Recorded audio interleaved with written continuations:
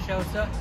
Uh, it's one of the, the ones listed on the, uh, the official kind of info sheet that you get for each comp. Uh, it's pretty cool. There's a lot of other teams staying here. Already bumped into the Americans. It's kind of weird to think that just like a couple like a couple weeks ago we were in, in Salt Lake, which already feels so long away now. But yeah, where we're going to be based for the next few days, and it's a really cool area, good restaurants, and yeah, it's nice.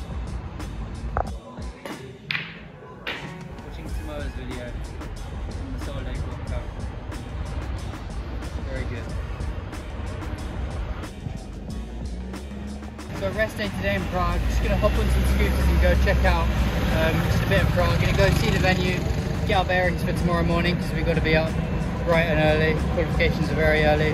Uh, go check out some of the sightseeing locations. There's a cool river.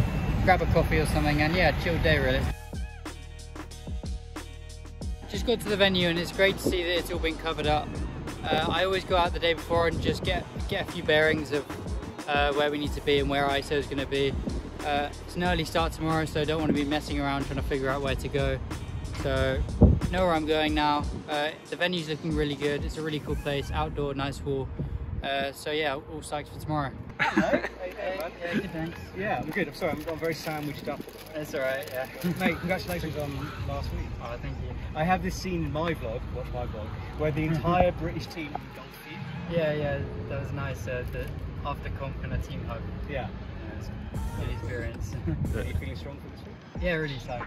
Yeah, looks like a cool venue. So I've seen the finals boulders, so for the right price. Yeah, oh, wow. yeah. What what is that price? I can't Yeah, yeah. I'm, I'm not right, I promise. the field looks massive. So really psyched. Yeah, over 100 people. It's gonna be good. Good luck, man. Thank Yeah. you as well. Time for coffee.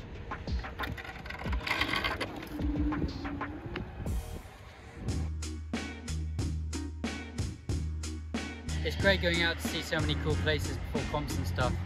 Uh, in Prague right now, just, just came out for about a couple minutes and already found this pretty cool spot. Like very picturesque. Prague looks like a really cool city. So yeah, it's always the highlight of kind of the rest days.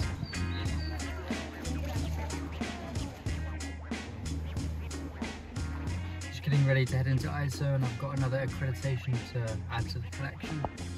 Quite nice, similar to the one from Salt Lake, so yeah, got a big collection building. Just heading into ISO now, really psyched. Um, hopefully there's some cool boulders and yeah, I just can't wait to get on them.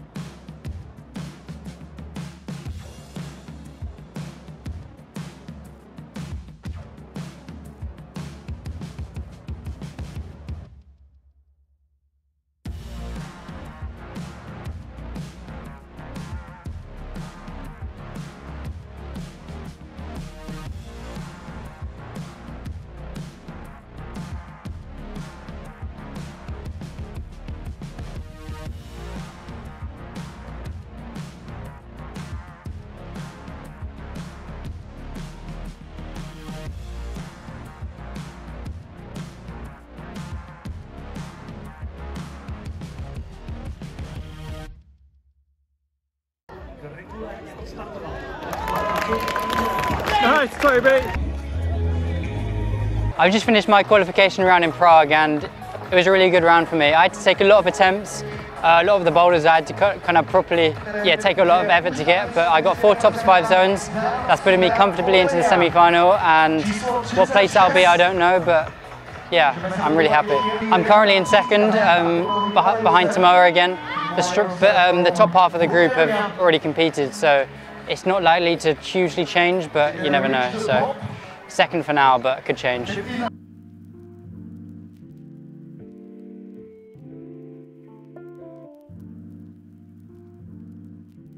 Qualifications are now over and I got third in my group, uh, four tops, five zones, so very safely into the semi-finals.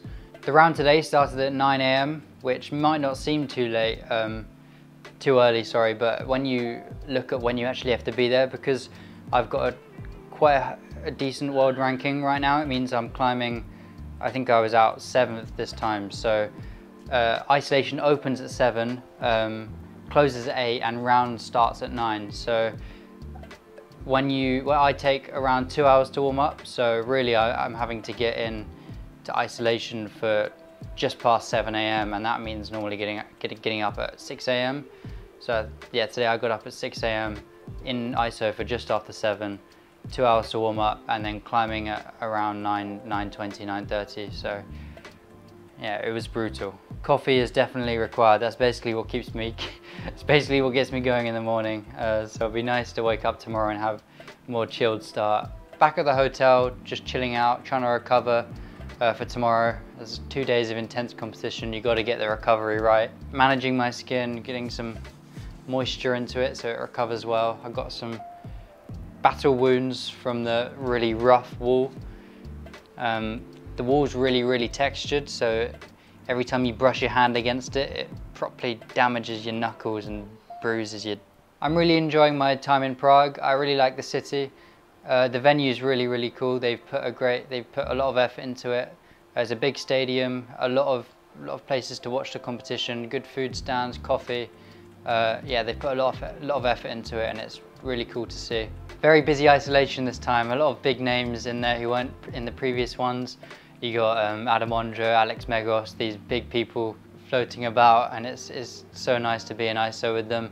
I was coming out quite early because I've, I've done the previous competition so I had quite a lot of ranking points which was quite nice.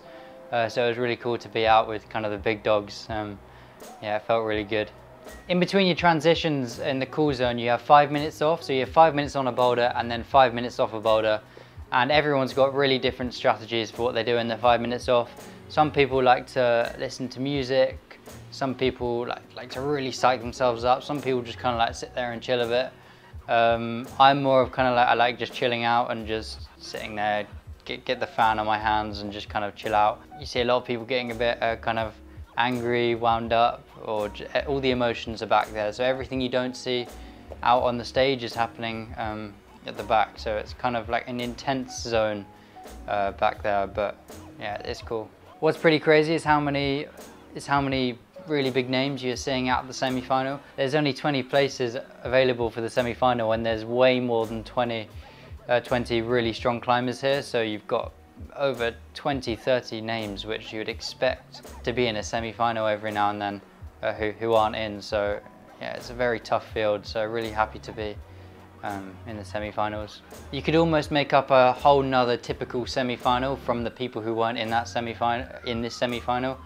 So really crazy to think about that. Gonna rest today, uh, cheer on the GB women. I think I'll uh, just keep keep an eye out on the scores and uh, because it's quite hot down at the venue right now. Uh, just gonna stay here, recover. Hopefully we get some semi-finalists from the women.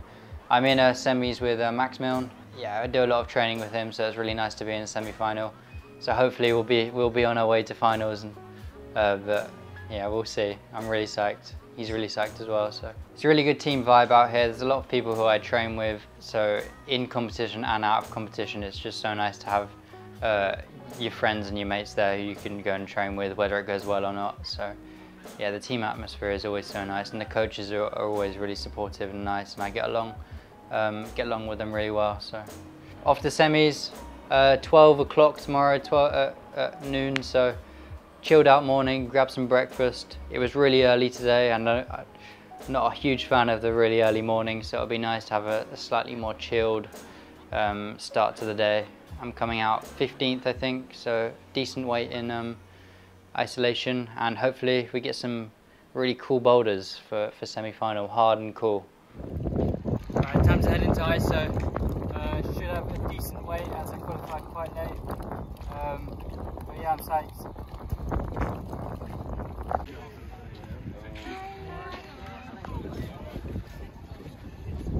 Be happy and blank. Fingers crossed for Toby. Yeah, peace of love. yeah, good luck.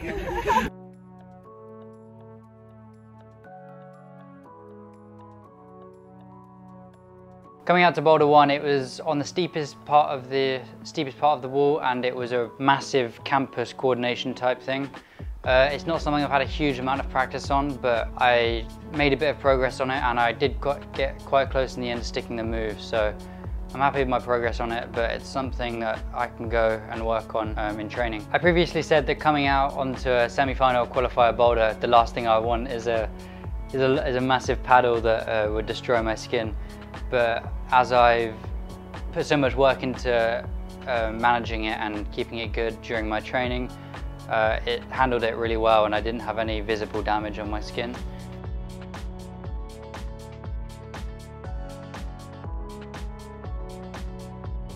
Five minutes back and I had to recover from the first boulder and coming out to boulder two, it was a I was really happy with uh, what, what it was. It was a massive power, massive power boulder, big moves, completely my style and I managed to flash it, which I'm really happy with. Bit of a fight, I was on it for about a minute, uh, just over a minute, but a flash on that I'm really psyched with. It's, it shows that my physical, um, uh, my physical kind of condition is really good.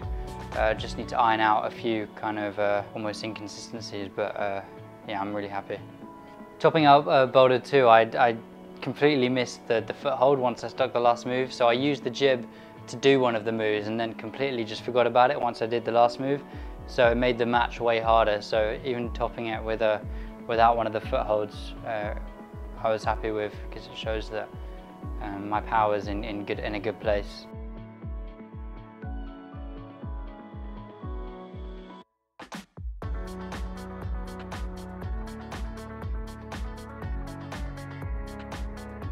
Another five minutes in uh, the cool zone and then back out for boulder three and that was big kind of swing down onto a volume into two kind of decent holds.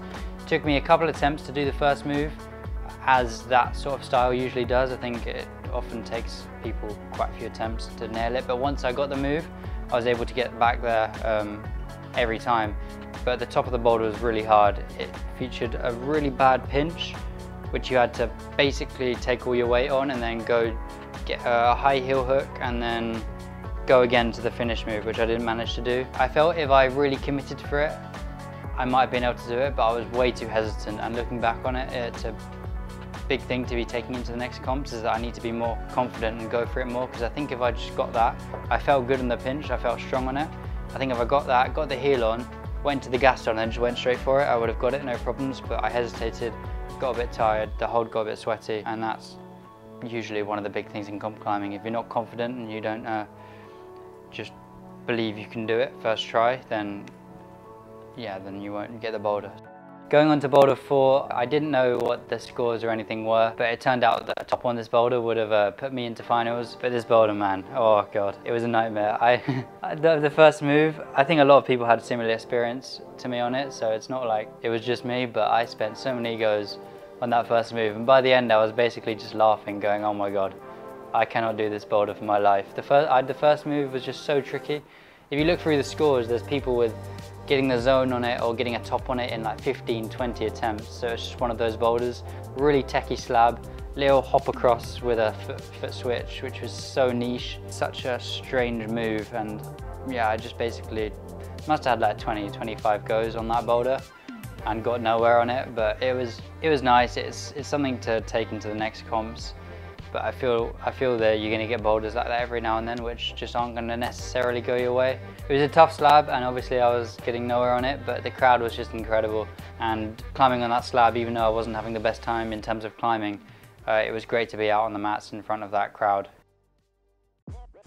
I'm back from my semi-final round in Prague and I, I didn't have the best uh, round. Uh, I got one top and two zones. Uh, the, I found the boulders were really kind of dynamic and strange slab, but I got a good top on the power boulder, which I'm happy with, uh, but finishing in 15th, um, 15th place, which isn't too bad, but yeah, definitely would have been nice to be in the final. There's a lot to break down in a five minute period. There's so many different things you can do. There's a lot of different tactics and that five minutes really does go quickly and you need to make the most efficient use of your time. And that's uh, what, you, what, you have to, what you have to do to be a great comp climber is be able to have a boulder and then work it out as quickly as possible, find a method that works and then just completely go for it 100%. Post round uh, in Prague, I can't say I'm like really happy with my result, but it's not. It's definitely a good result. It's my first season coming from such a big high in Salt Lake. I think there's always a chance that like after coming from a big high, sometimes you can have a massive low, and I didn't have that. I had like a. This has been a really solid comp. I've got a lot of experience. I made the semi-final. It's been one of the most competitive comps of the year. A huge amount of entrants, a lot of big names here. I feel looking back on the semi-final, I did. I put in a really good. I put in a good performance, and I.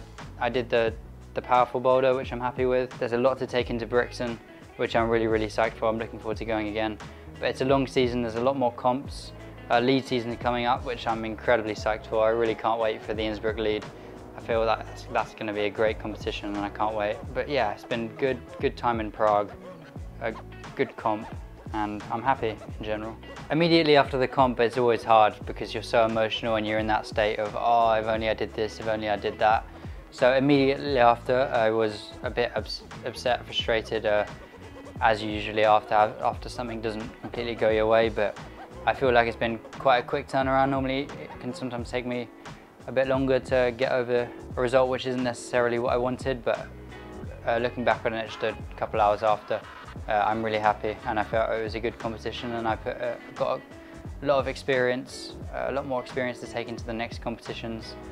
Um, and yeah, I'm psyched to uh, see how the final goes, see what that's like. It's, it's really cool that um, all of the six uh, finalists are from a different nation, so it's a proper global battle, which is going to be really cool to watch. I feel like doing these videos is actually quite good for my uh, mental game. It's always easy just to kind of sit there and be a bit sulky and not say anything and not go through your round. But just sitting here and talking about what I was feeling and how it was going has been really beneficial. Even just sat here speaking, it's, it's like speaking about how I felt and how it went, it already helps me break it down in my mind that um, actually it has been a good competition. And uh, yeah, so I, yeah, the, this has been really beneficial. So it's quite, it's quite cool. Already off and off to uh, Innsbruck tomorrow for my next stage of training. So finish the competition. I always like to get out, uh, get out of um, like the competition area as quickly as possible so you can start to recover because it's not long till the next one. So leaving for Innsbruck tomorrow morning, five hour drive over there, rest day tomorrow, straight into a bit of training and then a short drive to Brixen and then before I know it I'll be on the mats for qualifications and that's what's really cool about these seasons is there's always another chance. Right now at this stage of the season, uh, four comps in and I've, it's not 100% confirmed but basically I'm in the Olympic qualifier series by how many points I've already got. I'll just need to pull onto the, the lead routes basically and then uh, I'll be in the OQS so it's already really relaxed in in that front. Yeah, I, if you if I if someone told me that at the start of this season, uh, in my first kind of Boulder World Cup season or, or first full um, Senior World Cup season, that I would be in this position by the fourth comp, yeah, I wouldn't have believed it. It's, it's been crazy. It's been a great start to my uh, kind of Senior World Cup career, and I'm I'm really happy the way it's going. Right now, I think right now I'm on track for top 10 in Boulder, which which would be really nice obviously that's no that's no easy feat and it's going to be I'm going to have to get some good results in the next comps but yeah I'll be really psyched to try and do that. Top 10 would be would be really nice. Two more comps to go in Boulder and then on to lead.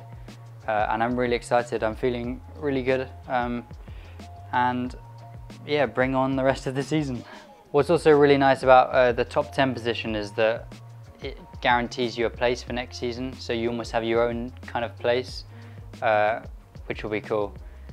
Having your yeah going into next season with a guaranteed uh, place in Boulder, uh, is, is really cool because you don't have to worry about any sort of selection or anything. On to Innsbruck, then on to Brixen, then on to Innsbruck. Innsbruck, Brixen, Innsbruck.